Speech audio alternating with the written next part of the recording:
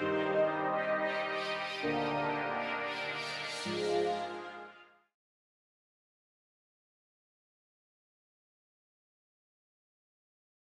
Bienvenue sur le MOOC Digital Media de la ville de Paris. Nous sommes aujourd'hui à l'Institut des systèmes complexes de Paris-Île-de-France avec David Chevalarias qui dirige cet institut et qui est aussi chercheur au CNRS EHESS, à savoir le Centre Analyse et Mathématiques Sociales. Alors, euh, je note aussi euh, la co-direction d'un livre euh, de recherche issu d'un colloque à Cerisy qui s'appelle Déterminisme et complexité du physique à l'éthique autour d'Henri Atlan. Alors on va justement parler euh, de systèmes complexes en commençant par parler de données. Euh, en fait, on, vous repère assez facilement sur le traitement des grandes quantités de données. On a l'impression que les données vous intéressent quand il y en a énormément.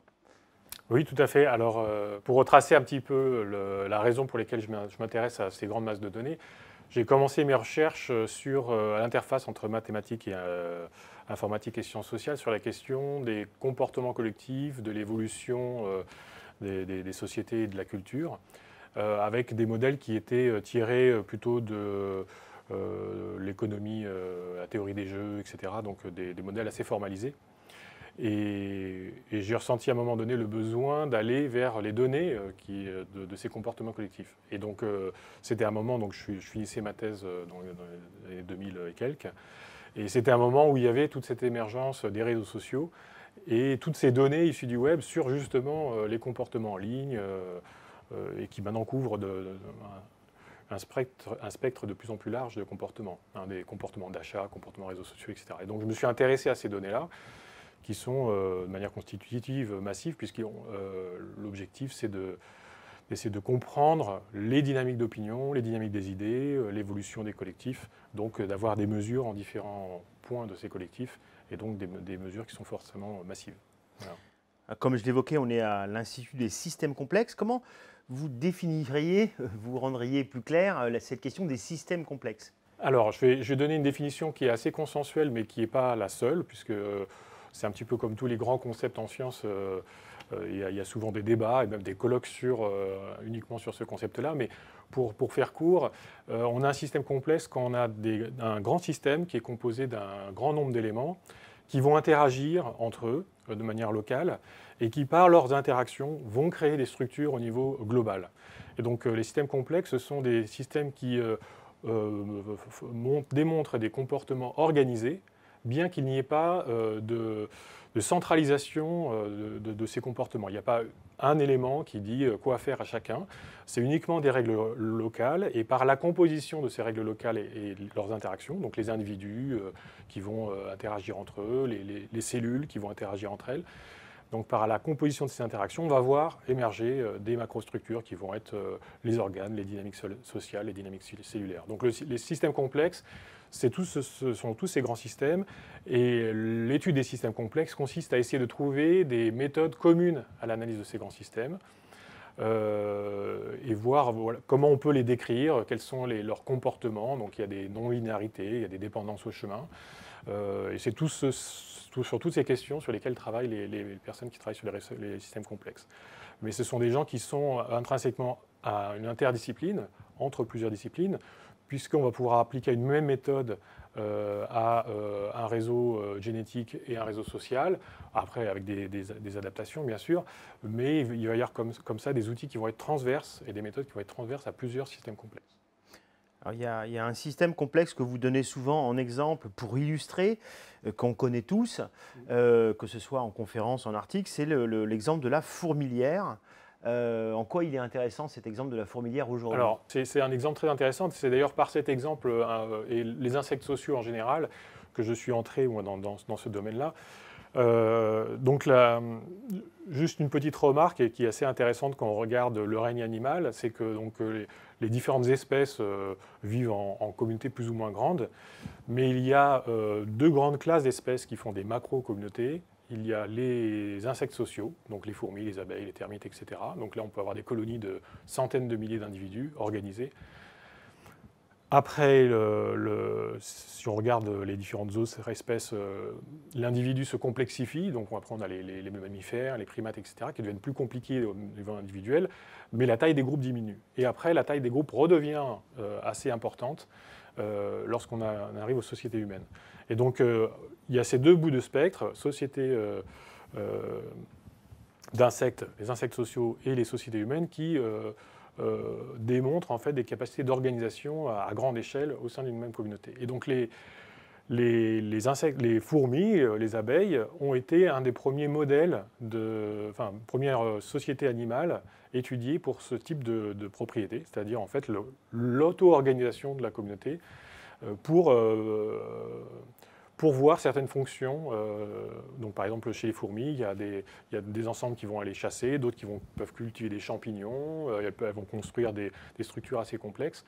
Et donc, euh, ce, type d'organisation est, prototypique des systèmes complexes. Dans une fourmilière, il n'y a pas c'est pas la reine qui donne ses instructions en disant on va aller ce soir, aujourd'hui on va aller chasser de ce côté-là, là vous allez construire ces choses-là. Tout se passe de manière complètement décentralisée avec une communication euh, dont on reparlera peut-être tout à l'heure, qu'on appelle la communication euh, stigmergique, enfin, c'est l'un des modes de communication des, fourmis, c'est-à-dire elles déposent des marques dans l'environnement qui, sont, euh, qui servent de coordination aux autres fourmis. Donc typiquement, par exemple, quand elles, vont chasser et qu'elles trouvent de la nourriture, quand elles reviennent à la fourmilière, elles vont déposer des phéromones, qui sont des, une, substance chimique volatile.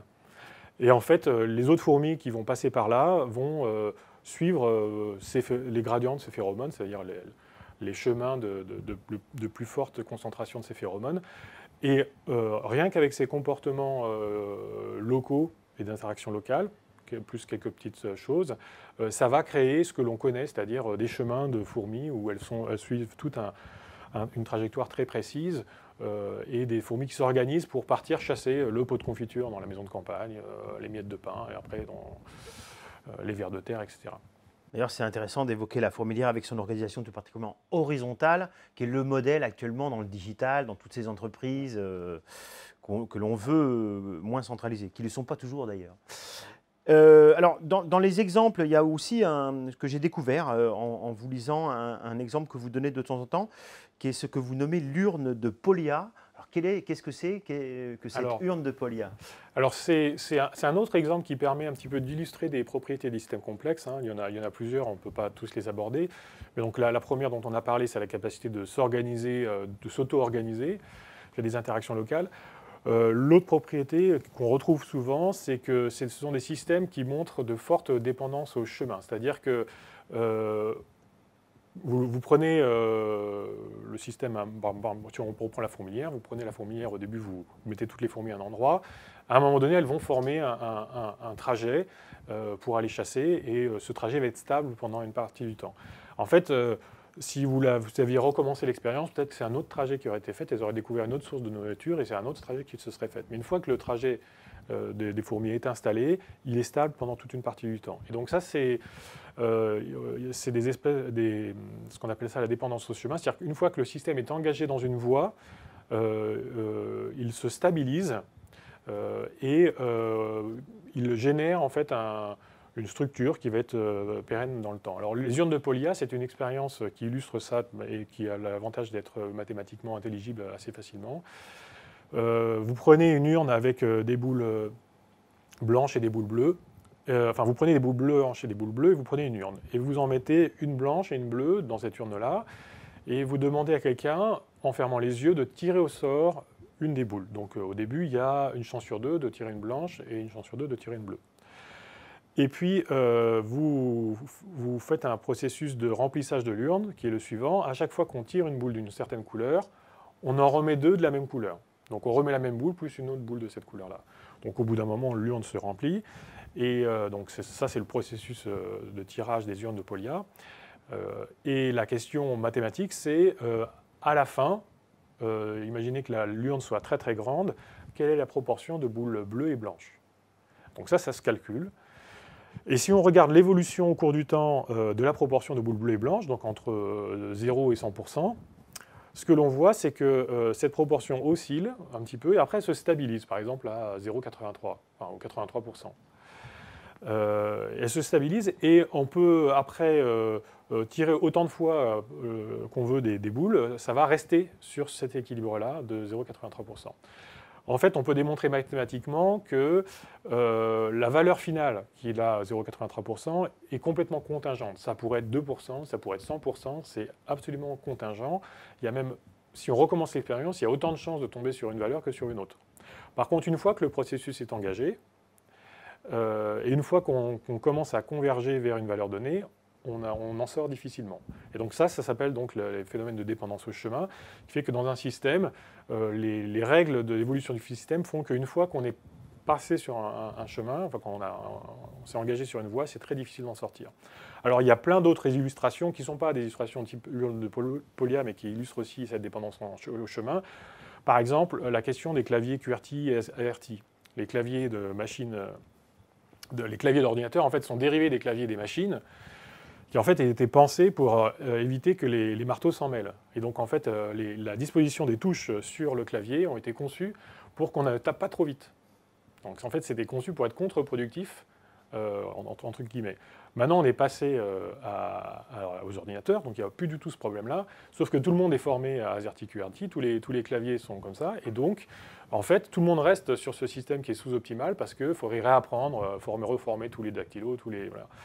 Et donc euh, là, on a une très forte dépendance au chemin technologique. On est parti sur une technologie qui, au final, est, devenue euh, complètement obsolète, sous-optimale, mais on reste dedans par inertie, en fait, et parce qu'il faudrait, pour la changer, il faudrait reformer euh, tous les dactylos dans, toutes les entreprises et c'est beaucoup plus trop, coûteux. Donc ça, on a un autre exemple de, dépendance au chemin qui est un petit peu différent des de Polia, mais qui explique encore ce phénomène qu'on trouve souvent dans les systèmes complexes.